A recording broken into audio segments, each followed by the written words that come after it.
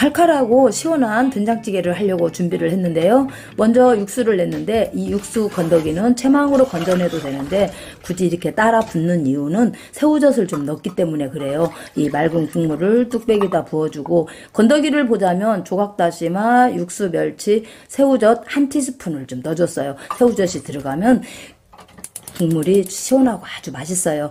그럼 들어갈 재료 감자 중간 크기 가운데 갈라 먹기 좋은 크기로 갈라서 넣어서 뚜껑을 덮어서 익도록 놔주고 들어갈 재료 청양고추 3개를 십자로 갈라서 쫑쫑 썰어주고 대파 한 뿌리 어스더스 썰어주고 두부 반모만 잘라서 가운데 갈라 1cm 두께로 뚜걱뚜걱 잘라놓고 그 사이 감자가 익었어요. 여기에 된장을 풀어줘야 되는데 집된장으로 해주세요. 슈퍼 된장은 살짝 달큰한 맛이 나서 이 맛이 안 나요.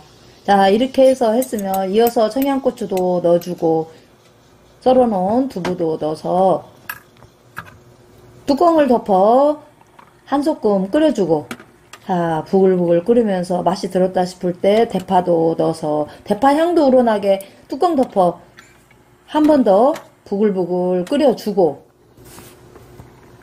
자, 부글부글 된장찌개가 아주 맛있게 잘 끓었어요.